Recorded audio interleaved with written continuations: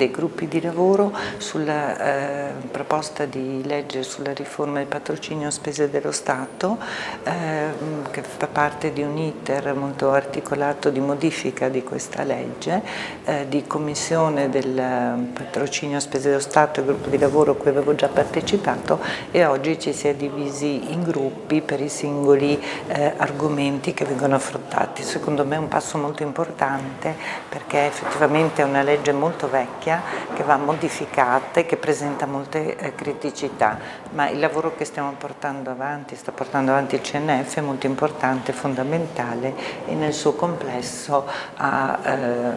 avrà, mi auguro, effetti positivi sia per la tutela ovviamente in primis dei cittadini e anche per garanzia a favore dell'avvocatura che si dedica al patrocinio a spese dello Stato. Oggi pomeriggio ci sarà invece un seminario eh, pratico sull'applicazione, la regolamentazione, le criticità e positività dell'eco compenso. Questa legge insomma, fortemente voluta eh, primis dal CNF e da tutti noi, compresa l'Unione Nazionale Camere Civili, che è sempre dichiarata favorevole, che ha delle criticità ma mette dei paletti sicuramente a favore dell'avvocatura.